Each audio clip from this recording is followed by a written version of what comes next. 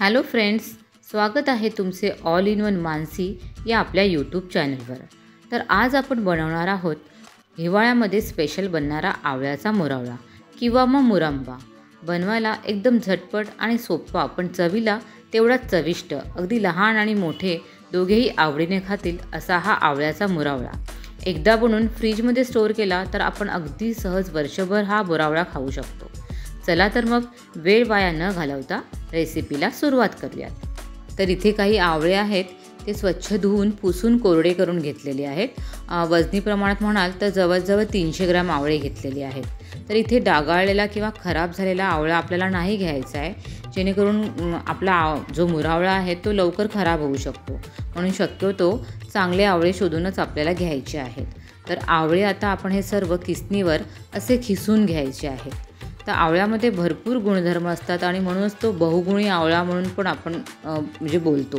कारण की केसांच्या समस्या असतील स्किन प्रॉब्लेम असेल डायजेशन असेल तर सर्वांवर आवळा हे एक औषधी म्हणजे फळ म्हणून खाल्ले जाते.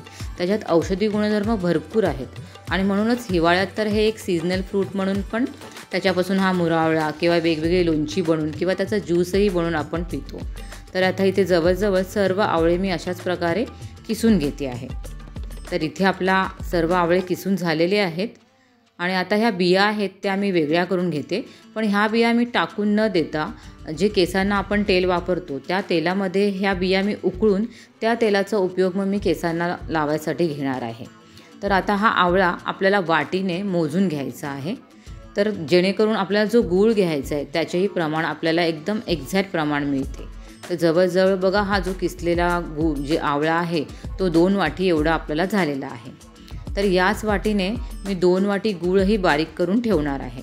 पण त्याच्या अगोदर आपण हा आवळा शिजून घेणार आहोत. पण याच वाटीने तुम्ही दोन वाटी गूळ जवळजवळ बारीक करून ठेवा. किंवा तुम्हाला जर जास्त गोड हवा असेल तर थोडा अर्धी वाटी गूळ तुम्ही अजूनही वापरू शकता. तर आता आवळा शिजवण्यासाठी पॅन ठेवले आहे. पॅनमध्ये एक चमचा मी तूप घेतलेले आहे इथे. आता ह्या तुपामध्ये अगदी मोजून तीन वेलची त्या ठेचून घेतलेल्या आहेत. दोन लवंगा चार काळी मिरी आणि दोन ती तीन दालचिनीचे लहान तुकडे. असं घेऊन हे तेलामध्ये एक एक ते दोन सेकंद असं परतून घेते. कारण आपल्या मुरावळ्याला छान फ्लेवर येतो त्याशिवाय आपला मुरावळा टिकतोही ह्या सर्व पदार्थांमुळे. तर आता किसलेला जो मुरावळा आहे तोही आपण काढून घेऊयात. तो एक एक मिनटं थोडासा परतून घेऊया तुपामध्ये छानसा. मग यात आपण घालणार आहोत अगदी पाव चमचा मीठ चवीनुसार थोडे. कारण की मिठामुळे कसं आवळ्यालाही पाणी सुटेल आणि पाणी सुटल्यामुळे हा आपला आवळा छान म्हणजे शिजायलाही मदत होईल. तर आता हा आवळा झाकण ठेवून आपण जवळजवळ दहा मिनटं शिजून घ्यायचा आहे. पण मध्ये मध्ये एक दोन तीन मिनटाने उघडून पाहून हा आवळा असा म्हणजे चमच्याने हलवत घेऊन हे मिश्रण आपल्याला हलवत राहणं गरजेचं आहे. तर आता इथे जवळजवळ दहा मिनटं झाली आहेत. तर आवळा पहा आपला. छान मऊसूत झाला आहे. बऱ्यापैकी आपला आवळा शिजलेला आहे. तर आता आपण या आवळ्यामध्ये मिक्स करायचं आहे गूळ. तर ज्या वाटीने आवळ्याचा किस मोजला होता त्याच वाटीने दोन वाटी एवढा इथे गूळ घेतलेला आहे. जसं की तुम्हाला मी पहिलाही सांगितलं तुम्हाला जर जास्त गोड हवा असेल तर तुम्ही अजून अर्धी वाटी गूळ घेऊ शकता. पण हे जे माप आहे ते एकदम परफेक्ट आहे. चवीला एकदम छान तुरट आंबट गोड असा मुरावळा तयार होतो. तर आता गूळ आहे तो थोडा पाच मिनटं आपण वितळून घेऊया. पाच मिनटानंतर आपला गूळ बघा बऱ्यापैकी वितळलेला आहे.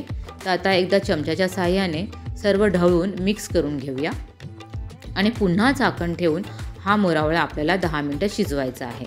जवळपास जवळजवळ तीस मिनटं तरी आपल्याला मुरावळा शिजवण्यासाठी लागतो. पण मध्ये मध्ये दहा मिनटाने पाच मिनटाने आपण झाकण काढून तो हलवत राहणं गरजेचं आहे. बऱ्यापैकी आता आपला मुरावळा शिजलेला आहे. आणखीन एक पाच मिनटं मी त्याला शिजवले आणि आता तो मस्त घट्टही झालेला आहे. आणि जास्त ह्याला घट्ट नाही करायचे आहे कारण की काय होतं की नंतर थंड आपण जेव्हा आवळा मुरावळा आपला थंड होतो त्यानंतर तो आणखीन घट्ट होतो. म्हणून शक्य तेवढा थोडासा पाक आपल्याला त्यात ठेवायचा आहे.